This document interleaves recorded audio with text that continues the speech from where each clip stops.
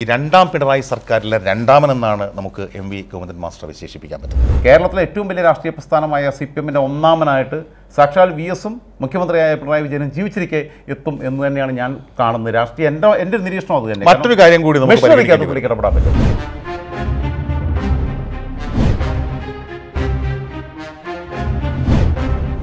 M V Govindan master എന്ന M V Govindan C P എമ്മിന്റെ പോളിറ്റ് ബ്യൂറോയിലേക്ക്. രജൻ ജോസഫ് കണ്ണൂരിലെ വിപ്ലവ ഗ്രാമം എന്നൊക്കെ പറയാവുന്ന മൊറാഴയിൽ നിന്ന് സി പി എമ്മിന്റെ പോൾ ബ്യൂറോയിലേക്ക് എം വി ഗോവിന്ദൻ മാഷ് എത്തുമ്പോൾ സി പി എമ്മിന്റെ കേരളത്തിലെ ഭാവിയെക്കുറിച്ച് എത്രത്തോളം പ്രതീക്ഷ വയ്ക്കാം നമുക്ക്? സി പി എമ്മിന്റെ കേരളത്തിലെ ഭാവിയെക്കുറിച്ചെന്ന് പറയുമ്പോൾ എം പി ഗോവിന്ദൻ മാഷിന്റെ കൈകളിൽ സി പി എമ്മിന്റെ ഭാവി സുരക്ഷിതമായിരിക്കും എന്നാണ് പ്രാഥമികമായിട്ട് നമുക്ക് വിശ്വസിക്കാൻ പറ്റുന്നത്. ഒന്ന് സി പി എമ്മിനകത്തൊരു റിഫോർമേഷന്റെ ടൈമാണ് കാരണം വലിയൊരു ഉൾപാർട്ടി റവല്യൂഷന്റെ സൂചനകൾ അതിനകത്ത് തുടങ്ങിയിട്ടുണ്ട്. കോടിയേരി യഥാർത്ഥത്തിൽ കോടിയേരിയുടെ ഗുണങ്ങളെല്ലാം നമ്മൾ പറഞ്ഞിട്ടുണ്ട്. അതേസമയം തന്നെ കോടിയേരിയെ വെറുതെ ഒരു റബ്ബർ സ്റ്റാമ്പായിട്ട് നിർത്ത് പാർട്ടിയെയും സർക്കാരിനെയും ഒരുമിച്ച് നയിച്ചുകൊണ്ടിരിക്കുകയായിരുന്നു പിണറായി വിജയൻ. പിണറായിസം നടപ്പിലാക്കാൻ വേണ്ട എല്ലാ സൗകര്യങ്ങളുമാണ് കോടിയേരി കാലങ്ങളായിട്ട് ചെയ്തുകൊണ്ടിരുന്നത്. പക്ഷേ അതായത് പിന്നെ ഇപ്പോൾ സി പി എമ്മിന്റെ നിലവിലുള്ള പി ബി അംഗങ്ങളിൽ വെച്ച് നോക്കുമ്പോൾ ഏറ്റവും പതിനേഴാമത്തെ ആളായിട്ടാണ് എം പി ഗോവിന്ദ മാഷ് ചെല്ലുന്നത്. എം പി ഗോവിന്ദ മാഷ് അറുപത്തൊമ്പത് വയസ്സുണ്ട്. അദ്ദേഹം പിന്നെ ഒരു അതായത് ഒരു സൈദ്ധാന്തിക കമ്മ്യൂണിസ്റ്റ് കൂടിയാണ് പ്രാക്ടിക്കൽ പൊളിറ്റിക്സ് ഭംഗിയായിട്ട് കൈകാര്യം ചെയ്യുക ഇത് രണ്ടും കൂടെ ഒരുമിച്ച് കൈകാര്യം ചെയ്യുന്ന ഒരു നേതാക്കന്മാരും കേരളത്തിലുണ്ടായിട്ടില്ല ഇപ്പോൾ വി എസിനെ എടുത്ത് നോക്കിക്കഴിഞ്ഞാൽ വി എസിന് സൈദ്ധാന്തികതയെക്കുറിച്ച് ഒന്നും അറിയത്തില്ല. അതുകൊണ്ടാണല്ലോ ഈ പാവം പിടിച്ച പി ഗോവിന്ദപ്പിള്ളയൊക്കെ പിടിച്ച് പാർട്ടിക്കകത്തുനിന്ന് പുറത്താക്കിയിട്ട് ബ്രാഞ്ചിൽ കൊണ്ടുപോയിട്ടത്. പിണറായി വിജയൻ ഈ രണ്ട് സാധനവും ന- മര്യാദയ്ക്ക് അറിയത്തില്ല. പിണറായി വിജയൻ കമ്മ്യൂണിസം എല്ലാം നടപ്പിലാക്കിക്കൊണ്ടിരിക്കുന്നത്. ഈ പിന്നെ വിജയരാഘവനാണെങ്കിൽ അത്യാവശ്യം കളി മാത്രമാണ് അറിയാവുന്നത്. കളിയുടെ പൊളിറ്റിക്സുകൾ അറിയാം. ഈ പിന്നെ പൊളിറ്റിക്സ് ആണ് പഠിപ്പിച്ചുകൊണ്ടിരുന്നത്.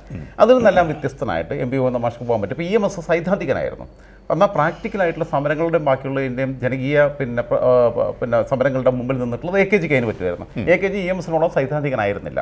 അപ്പം നമ്മുടെ ഓരോ നേതാക്കന്മാർ സി പി എമ്മിന്റെ നേതാക്കന്മാരെടുത്ത് സുർജിത്ത് പിന്നെ ജ്യോതി ബസു മണിക് സർക്കാർ വരെയുള്ള ഏറ്റവും സാധാരണക്കാരനായ ഒരു കമ്മ്യൂണിസ്റ്റ് മണിക് സർക്കാർ ത്രിപുരയിലെ. അങ്ങനെയുള്ളവരെ എടുത്തു നോക്കുമ്പോൾ കേരളത്തിൽ പ്രത്യേകിച്ച് എടുത്ത് നോക്കിക്കഴിഞ്ഞാൽ ഇപ്പോൾ സി എച്ച് കണാരൻ വേറെ വഴിയായിരുന്നു. കൃഷ്ണപിള്ള വേറെ വഴിക്കായിരുന്നു. നമ്മളെ പിന്നെ നമ്മളെ കണാരട്ടൻ കണാരട്ടനല്ലേ നമ്മളെ നാദാപുരത്തെ മേപ്പിയൂർ ഓക്കെ. പിന്നെ ഇങ്ങനെയുള്ള ഓരോ സഖാക്കളുടെയും രീതികൾ വ്യത്യസ്തമായിരുന്നു. അതെ നമുക്ക് എം വി ഗോവിന്ദൻ മാഷയുടെ സ്റ്റൈലിലേക്ക് വരുമ്പോൾ അദ്ദേഹം തന്നെ പറയുന്നുണ്ട് സിദ്ധാന്തമില്ലാത്ത പ്രയോഗവും പ്രയോഗമില്ലാത്ത സിദ്ധാന്തവും അന്വർത്ഥമാണ് എന്ന മാർക്സിൻ കാഴ്ചപ്പാടാണ് എന്റെ കാഴ്ചപ്പാട് എന്ന്. തുടരാം പറ്റും രണ്ടും കൂടെ കൂട്ടി യോജിപ്പിച്ച് കൊണ്ടുപോകാൻ പറ്റുന്ന ഒരാളാണ് ഞാൻ പറഞ്ഞില്ല? അതുകൊണ്ടാണ് പറഞ്ഞത് സൈദ്ധാന്തികതയെക്കുറിച്ച് സംസാരിക്കാൻ പറ്റും. ഓർഗനൈസർ ആണോ എന്ന് വെച്ചാൽ ഓർഗനൈസറാണ്. പ്രസന്റർ ആണോ എന്ന് വെച്ചാൽ കാര്യങ്ങൾ കൃത്യമായിട്ട് തന്റെ മനസ്സിലുള്ള കമ്മ്യൂണിസം ജനങ്ങൾക്ക് മനസ്സിലാവുന്ന ഭാഷയിൽ പറയാൻ പറ്റും എം എ ബിയുടെ മാതിരി സംസ്കൃതത്തിൽ ഹീബ്രു ഭാഷയിലൊന്നും സംസാരിക്കത്തില്ല. മലയാളത്തിലാണ് സംസാരിക്കുക. അങ്ങനെ ഗുണമുണ്ട്. ഇതെല്ലാം കൂടി ഒത്തിണങ്ങിയ ഒരാളാണ് പിന്നെ എം പി ഗോവിന്ദ മാഷ്. എം പി ഗോവിന്ദ മാഷ് വരുമ്പോൾ ഉണ്ടാകുന്നത് സി പി എമ്മിന്റെ സ്ട്രക്ചറിനകത്ത് അവരിതുവരെ കൊണ്ടുപോയിക്കൊണ്ടിരിക്കുന്ന പൊളിറ്റിക്സിനകത്ത് വലിയ മാറ്റം വരും. കാരണം എം പി ഗോവിന്ദ മാഷ് ആരാലും ഒരു പരിധിക്കപ്പുറം വ്യക്തിപരമായ നിയന്ത്രണങ്ങൾക്ക് വിധേയനായി നിൽക്കുന്ന ഒരാളായിരിക്കത്തില്ല എന്ന് തന്നെയാണ് കരുതുന്നത്. കാരണം അദ്ദേഹം ശക്തനാവുകയാണ്. പി ബിയിലേക്ക് അംഗമാവുന്നു സംസ്ഥാന സെക്രട്ടറി സ്ഥാനത്തേക്ക് അദ്ദേഹം വരുന്നത് തന്നെ. ഈ കഴിഞ്ഞ സംസ്ഥാന സമ്മേളനത്തിന് തൊട്ടുമുമ്പുള്ള ടൈമിൽ വെച്ച് ഇടക്കാലത്ത് ലീവ് എടുത്ത കോടിയേരി ബാലകൃഷ്ണൻ ആ ചുമതല അന്ന് പിന്നെ ഇടതുമുന്നണിയുടെ കൺവീനറായിരുന്ന എ. വിജയരാഘവന് കൊടുക്കുന്നു. എ. വിജയരാഘവൻ ഞാൻ പറഞ്ഞില്ല പൊളിറ്റിക്സിന്റെ ആളാണ് ഇത് സി പി എമ്മിനകത്തുള്ളവർക്ക് മൊത്തം അറിയാം. എല്ലാ കളി അറിയാവുന്ന കളിയുടെ ആശാനാണ്. ഇവിടെ ഈ പിണറായിയും പിന്നെ വി എസും എല്ലാം തമ്മിൽ ഗ്രൂപ്പിസ് ഉണ്ടാകുമ്പോൾ ഇതിനകത്തെല്ലാം ബെനിഫിഷ്യറി ആയിട്ട് എപ്പോഴും നിന്നുകൊണ്ടിരുന്ന ഒരാളാണ് അങ്ങനെ എസ് ശർമ്മ പിന്നെ ഒരു വശത്ത് വി എസിന്റെ ആളായിട്ട് ഇപ്പുറത്ത് പിന്നെ പിണറായിയുടെ ഇവരുമായിട്ട് കൂട്ടി നിന്നിട്ട് എസ് ആർ പി ആണ്. എസ് ആർ പി ആയിരുന്നു അദ്ദേഹത്തിന്റെ ഗോഡ് ഫാദർ വിജയരാഘവന്റെ വിജയരാഘവൻ അടുത്തട്ടിൽ നിന്ന് വളർന്നു വന്ന ആളാണ് മലപ്പുറത്ത് നിന്ന് വളർന്നു വന്ന ആളാണ്. പക്ഷേ മലപ്പുറത്തെ പാർട്ടി സഖാക്കൾ പോലും വലിയ താല്പര്യമില്ലാത്ത ഒരാളാണ് അപ്പോൾ അവിടെ നിന്ന് എം പി ഗോവിന്ദ മാഷ് അങ്ങനെയല്ല. എം പി ഗോവിന്ദ മാഷ് ഇപ്പോൾ പി ജയരാജന് പോലും എനിക്കൊന്ന് സംസ്ഥാന സെക്രട്ടേറിയറ്റിലേക്ക് എടുക്കുന്നതിനകത്ത് എം പി ഗോവിന്ദ മാഷ് ചെറിയ തടയിട്ടു എന്നായി മനസ്സിലാക്കുന്നത്. അങ്ങനെ നോക്കുമ്പോൾ സംസ്ഥാന രാഷ്ട്രീയത്തിനകത്ത് അദ്ദേഹത്തെ കണ്ണൂർക്കാരനായിട്ട് ആൾക്കാർ കാണുന്നില്ല. അതെങ്കിലും ശ്രദ്ധിച്ചിട്ടുണ്ടോ? ഫിറോസ്?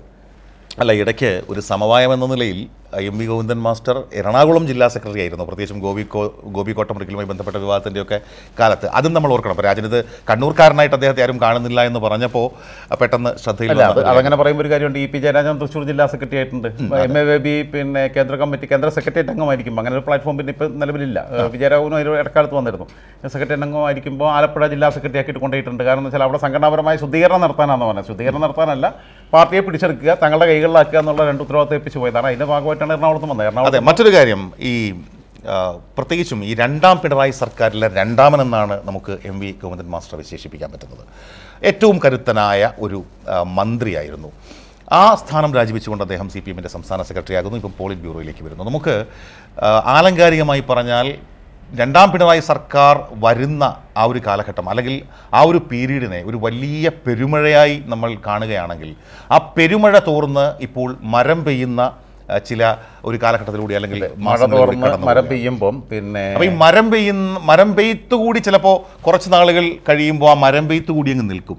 അവിടെ നിന്ന് പിന്നീട് സൂര്യൻ പാർട്ടിയെ നയിക്കുക.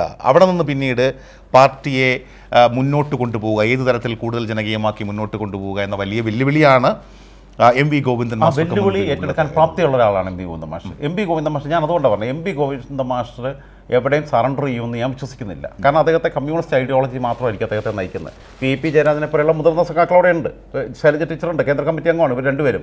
എം വി ഗോവിന്ദ മാസ്റ്റർ എനിക്ക് തോന്നുന്നത് ഇ പിക്കൊക്കെ ശേഷമാണ് കേന്ദ്ര കമ്മിറ്റിയിൽ വരുന്നത്. കേന്ദ്ര കമ്മിറ്റിയിൽ അങ്ങനെ വെച്ച് നോക്കുമ്പോൾ ജൂനിയറാണ് പക്ഷേ അദ്ദേഹം പി ബിയിലേക്ക് എത്തുന്നു. അതിശക്തനായി മാറുന്നു. അതായത് രണ്ടാം പിണറായി സർക്കാരിലെ രണ്ടാമൻ കേരളത്തിലെ ഏറ്റവും വലിയ രാഷ്ട്രീയ പ്രസ്ഥാനമായ സി പി എമ്മിന്റെ ഒന്നാമനായിട്ട് സാക്ഷാൽ വി എസും മുഖ്യമന്ത്രിയായ പിണറായി വിജയനും ജീവിച്ചിരിക്കെ എത്തും എന്ന് തന്നെയാണ് ഞാൻ കാണുന്നത്. രാഷ്ട്രീയ എന്റെ എന്റെ ഒരു നിരീക്ഷണം അത് തന്നെ. മറ്റൊരു കാര്യം കൂടി നമുക്ക് ഇടപെടാൻ പറ്റും. മറ്റൊരു കാര്യം കൂടി നമുക്ക് ഇപ്പോൾ പരിഗണിക്കേണ്ടി വരുന്നത് ഇപ്പം സി പി എമ്മിന്റെ സംസ്ഥാന സെക്രട്ടറി ഒപ്പം പോളിറ്റ് ബ്യൂറോ അംഗം. പിണറായി വിജയന് ശേഷം സി പി എമ്മിൽ ആര് എന്ന ചോദ്യത്തിന് അല്ലെങ്കിൽ പിണറായി വിജയന് ശേഷം ആര് എന്ന ചോദ്യത്തിനുള്ള ഉത്തരം കൂടിയായിട്ട് എം വി ഗോവിന്ദൻ മാസ്റ്റർ പരിഗണിക്കപ്പെടുകയാണോ?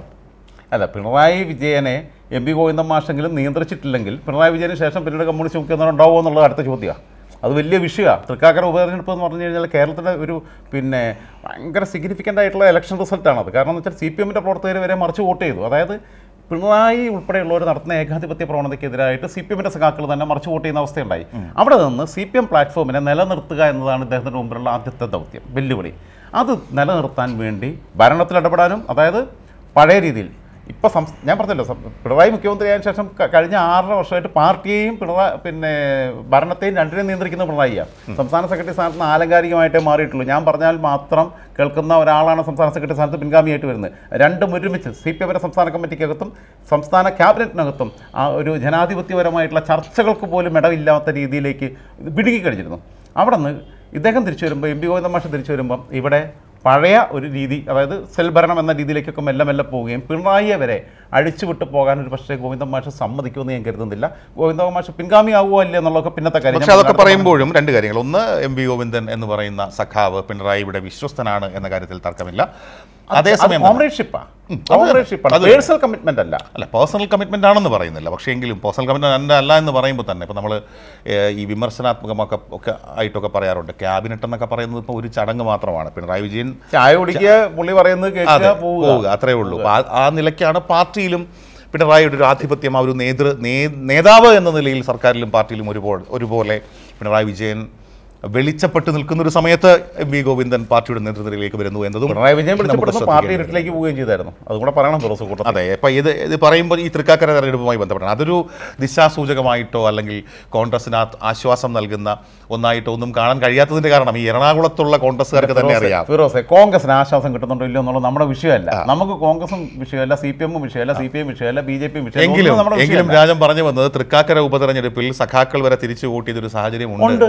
എന്നൊക്കെ പറയുമ്പോഴും തൃക്കാക്കരയിൽ ഈ സഖാക്കൾ ഇനിയിപ്പോൾ ശരിക്കും സി പി എമ്മിന് തന്നെ സി പി എമ്മിന്റെ പാർട്ടി ചിഹ്നത്തിൽ മത്സരിച്ച സ്ഥാനാർത്ഥിക്ക് തന്നെ വോട്ട് ചെയ്തെങ്കിലും ഇവിടെ ജയിക്കാൻ പോകുന്നില്ല. അങ്ങനെ ഒരു മണ്ഡലമാണ് തൃക്കാക്കര. അതാണ് മൊത്തം മെഷീനറി അവിടെ കേന്ദ്രീകരിച്ച് യൂസ് ചെയ്യുക. കരുനാഗപ്പള്ളിയിൽ വോട്ട് വേണ്ടേ സർ? എത്ര മെഷീനറി? നിങ്ങൾ ഇവിടുത്തെ മെഷീനറി മൊത്തം മെഷീനറിക്കൊന്നും വോട്ടില്ല. ഫിറോസെ ഇവിടുത്തെ വോട്ടർമാരാണ്. ശശി തരൂരിനെ മറ്റേ ഫ്ലൈറ്റ് കയറിയപ്പോൾ ഇൻഡിഗോ എയർലൈൻസിൽ ആൾക്കാർ കൈയടിച്ചെന്ന് പറയുന്ന പോലെയാണ്. യാത്രക്കാരല്ല വോട്ടർമാർ അപ്പൊ അതുപോലെ തൃക്കാക്കരയിലെ വോട്ടർമാരെന്ന് പറയുന്നത് വോട്ടില്ലാത്ത ഒരു സ്ഥലത്ത് അല്ലെങ്കിൽ അത്രയും തുലവും തുച്ഛമായ സംഘടനാ സംവിധാനം പോലും തുച്ഛമായ ആ, തരത്തിൽ കോൺഗ്രസിന് മാത്രം ജയിക്കാൻ വേണ്ടി ഉണ്ടാക്കിയ ഒരു മണ്ഡലം എന്ന നിലയിൽ ഞാൻ പറയട്ടെ.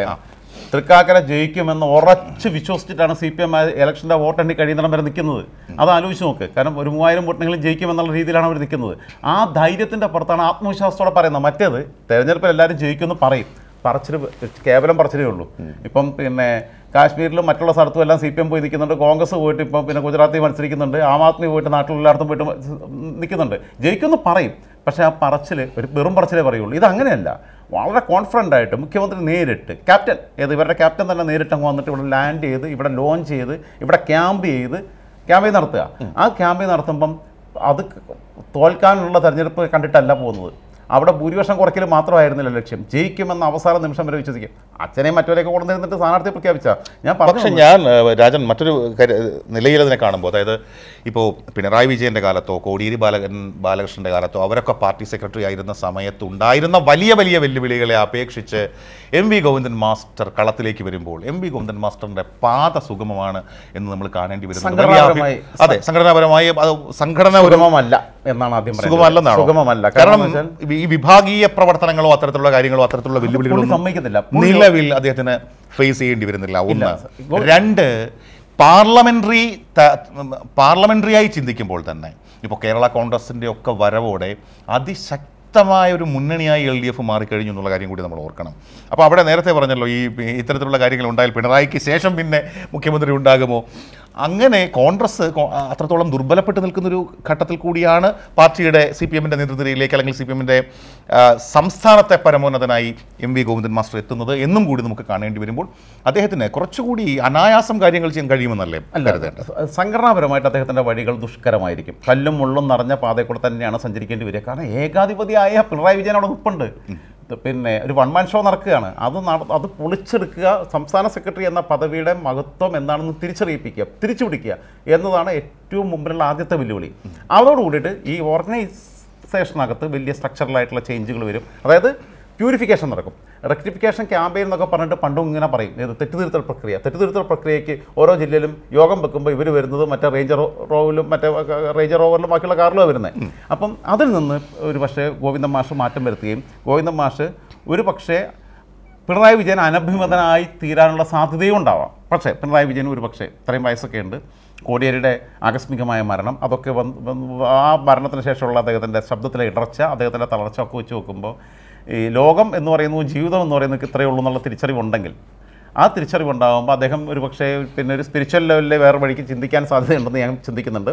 മാത്രമല്ല അദ്ദേഹവും സ്വയം റെക്ടിഫൈ ചെയ്യാൻ ഓക്കെ ഇനി ഞാൻ കൃത്യമായിട്ട് ജീവിക്കണം അല്ലെങ്കിൽ നല്ല രീതിയിൽ ചെയ്യണം. ഇത്രയും കാലം ചെയ്ത വൃത്തികളിൽ ഇനി ആവർത്തിക്കേണ്ടെന്ന് തീരുമാനിച്ചാൽ മതി. എന്നാൽ ഈ പാർട്ടി മര്യാദയ്ക്ക് പോകും ഗോവിന്ദ മാഷ് ഈ പാർട്ടിക്ക് ഒരു പുതിയ വസന്തകാലം ഉണ്ടാക്കിയെടുക്കും. അതെ, അത് ദേശീയ തലത്തിൽ വരെ സി പി എമ്മിന് തിരിച്ചുവരവിന്റെ പാത സുഗമമാക്കി മാറ്റാൻ കെൽപ്പുള്ള ഒരു നേതാവാണ് എം പി ഗോവിന്ദൻ മാഷൻ നാഷണൽ ഫേസ് ആയിട്ട് മാറത്തില്ല നാഷണൽ ഐക്കണായിട്ട് മാറില്ല. പക്ഷേ കേരളത്തിൽ അദ്ദേഹം വെക്കുന്ന പിന്നെ ഒരു മാറ്റത്തിന്റെ ഒരു പരിവർത്തനത്തിന്റെ പാതയിലൂടെ ഈ പാർട്ടിയെ കൊണ്ടുപോകുമ്പോൾ ദേശീയ തലത്തിൽ ശ്രദ്ധിക്കപ്പെടും ദേശീയ തലത്തിൽ മൈലേജ് ഉണ്ടാവും. ബാക്കിയുള്ളവർ പിന്നെ എം പി ഗോവിന്ദൻ മാഷായിരിക്കും ഇനിയുള്ള പിന്നെ സി പി എമ്മിന്റെ ഒരു യുഗത്തെ അല്ലെങ്കിൽ ഇനിയുള്ള വർഷങ്ങളെ നിയന്ത്രിക്കാൻ പോകുന്നത് തന്നെയാണ്. അങ്ങനെ തന്നെയാണ് കരുതേണ്ടത്. കാരണം കേരളത്തിൽ നിന്നുള്ള നിലവിൽ കേരളത്തിൽ നിന്നുള്ള നാലാമത്തെ പോളിറ്റ് ബ്യൂറോ അംഗം അതായത് എം എ ബിയും അതുപോലെ വിജയരാഘവരും വിജയരാഘവനും മൂന്നാം മൂന്നാമനായി ആദ്യത്തെ ആ- എതിരഭിപ്രായങ്ങളില്ലാത്ത ഏക നേതാവ്. ആ തരത്തിൽ നമുക്ക് എം വി ഗോവിന്ദനെ വിലയിരുത്തുമ്പോൾ സി പി എമ്മിന്റെ കേരളത്തിലെ പരമോന്നത നേതാവ്.